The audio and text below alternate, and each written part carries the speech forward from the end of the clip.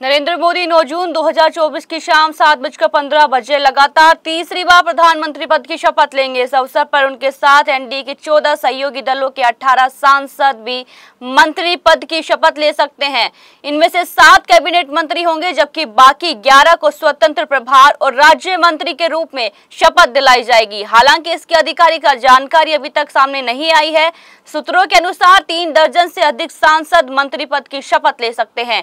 TDP JDU से दो दो और शिवसेना से एक कैबिनेट मंत्री बनने की संभावना जताई जा रही है। इसके अलावा एनसीपी, एलजेपी और जेडीएस के कोटे से भी कैबिनेट मंत्री शपथ ले सकते हैं। टीडीपी के एक सांसद ने बताया कि किस दल से कितने मंत्री बनाए जाएँगे, इसका फॉर्मूला पहले ही तय किया जा चुका है। इसे लेकर सार्वजनिक रूप से किसी तरह की चर्चा करने की ज़रूरत नहीं है। सभी दल इस बात पर सहमत है कि प्रधानमंत्री जिसे जो ज़िम्मेदारी देंगे, वे उसे निभाएँगे। जेडीयू सांसद लवली आनंद ने रेलवे मंत्रालय के सवाल पर कहा है कि जेडीयू को यह मंत्रालय बिल्कुल मिलना चाहिए। पहले भी ऐसा ही था।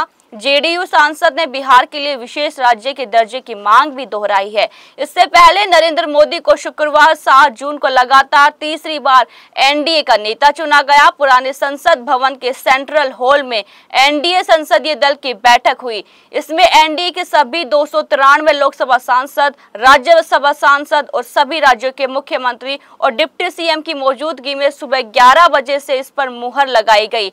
इसके बाद एनडीए ने दोपहर तीन बजे सरकार बना बनाने का दावा पेश किया।